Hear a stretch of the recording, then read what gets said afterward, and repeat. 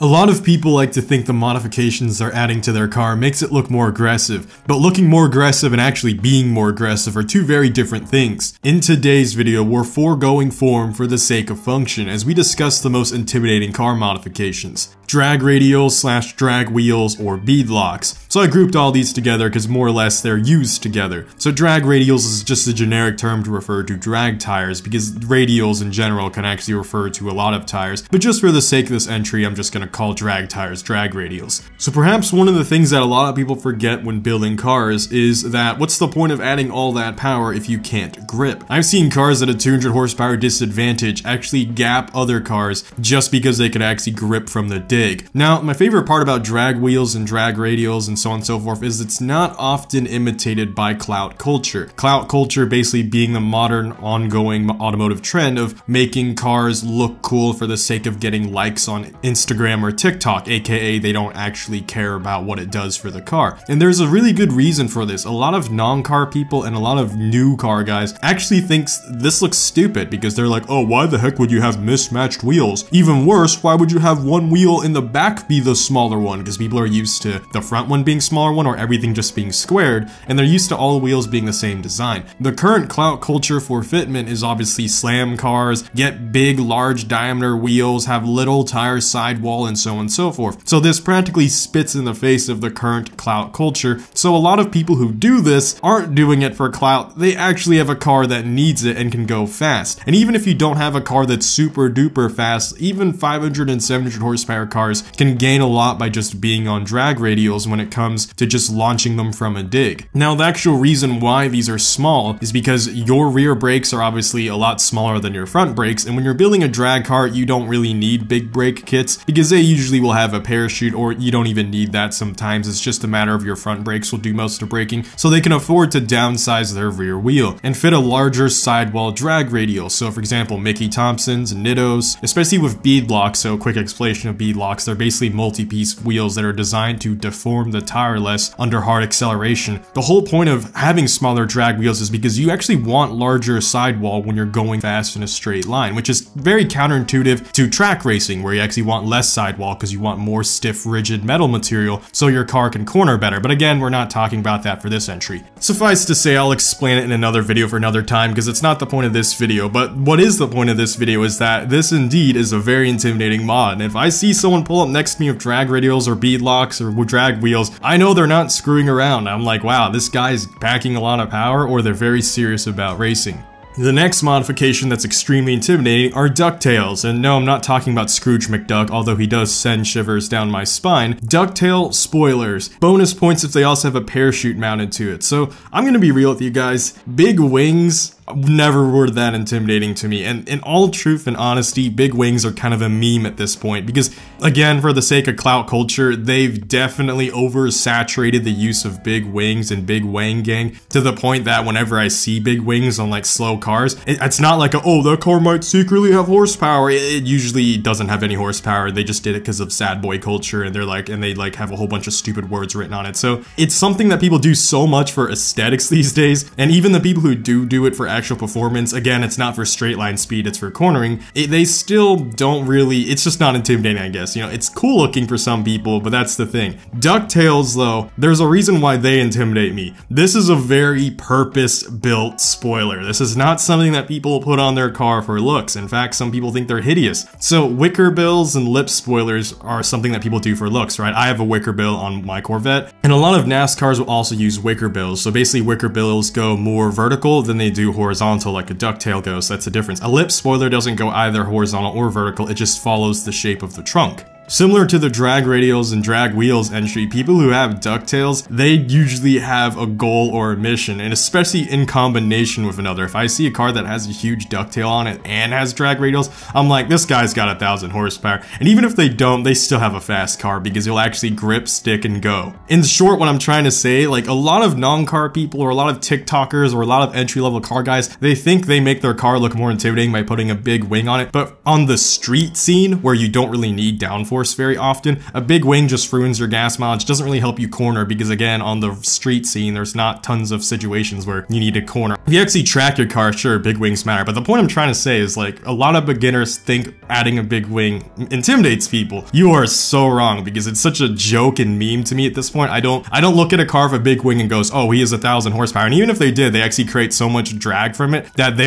that they can actually still lose to like 800 horsepower cars or even 750 horsepower cars, like in my case, just because they're making way too much downforce in a straight line. Nitrous, E85, flex fuel, or methanol kit. So I grouped all this together because at the core, they're all basically ways to make your car faster without outright changing like your actual engine. So yes, you do have to build your car a bit to do nitrous. Yes, you do have to get a new fuel system to sometimes run 85. This isn't a traditional power mod. Like when you think of a traditional power mod, you think of more of a permanent solution or more of something that's just like, like a cold air intake, an intake manifold, or rebuilding your engine, or boring out things, or porting your blower, and so on and so forth. With this is more of like a fuel change. So E85 and meth kits. So methanol usually is really good at running your car colder, which means you can get greedy and push more power. E85 is just a great choice in general. Like E85 and flex fuel, a lot of people say is actually, it's like becoming one of the best ways to make cheap power, especially without boost. So a Miata on E85, I actually have a friend who has an ND Miata on E85. It basically makes almost as much horsepower as a boosted Miata, except it doesn't have the lag to deal with because it's all steel engine. It also cools a little better. And it was cheaper for him to build his fuel system to run E85 than it is to build the engine to handle turbo. Nitrous, of course, is just the most dangerous of all these, but it's still intimidating nonetheless because usually when someone has a nitrous setup on their car, they know what they're doing. And that's like some end game stuff right there where someone is such a blown engine that or they have extreme confidence in what they're capable of handling. So all the other mods in this entry, you can see it without opening the engine bay. This one, you do have to have them open the engine bay. But whenever I see a car at a car meet with this, it speaks volumes for itself because it shows someone who knows what they're doing. Like, hey, I run E85 for track, or hey, I run methanol for drag racing, or hey, I run nitrous for street racing. And people with stuff like this, when they show up at a meet and open their hood, it is definitely way cooler, way more intimidating than red glowy lights or angry DRLs and ooh, like, you know, it's really funny seeing TikTok culture think they know what makes people intimidated with an engine bay. I don't care about your LED lighting kit. What I do care about is when I see a nitrous kit.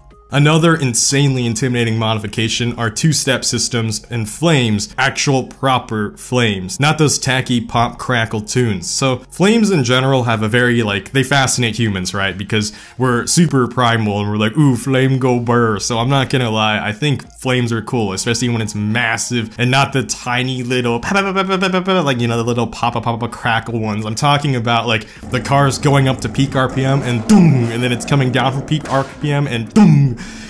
like actual proper flames. So like you're not just running rich or doing a stupid hot boy tune with like a laptop where you're screwing around with how your car's air fuel ratio. A proper tune or two step system where you're literally shooting like three foot flames on your downshifts or upshift or on your launch control. And that is just, that's such a hell yeah moment. That's insanely, insanely intimidating. This is along the lines of nitrous and E85 and meth, kind of in the sense that this is something where if you see someone do stuff like this, they actually know what they're doing. This isn't just some teenager messing around with an air fuel ratio. This isn't just someone running rich and just doing little crackles. This is a full blown, actually built, tuned car. So for example, my car is down and tuned by LS experts, and my car on its downshifts and on its upshifts or on its launch control will now shoot massive flames. And that's the coolest thing ever when you're approaching certain RPM points and you just have like just, it's just, that's just awesome to me. Like you see it in video games all the time growing up, but to have a car in real life do it or to see a car in real life do it,